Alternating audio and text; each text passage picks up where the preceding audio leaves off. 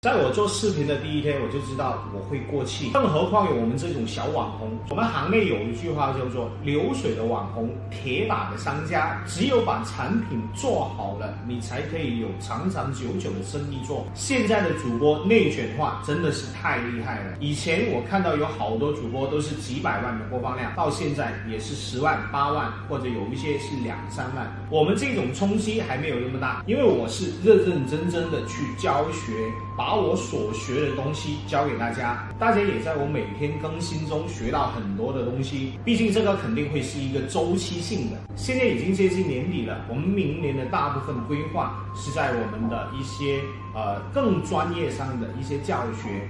还有我们的产品上，也希望大家不要去介意龙师傅去卖产品啊什么之类的，因为毕竟我们是有团队的，我们要生存。就好像今年我们做出了很多优惠力度很大的一些双十一活动，如果你们有需要的话，可以去看一下。毕竟今天是最后一天了，谢谢大家今年一直以来的支持，祝大家双十一购物节愉快。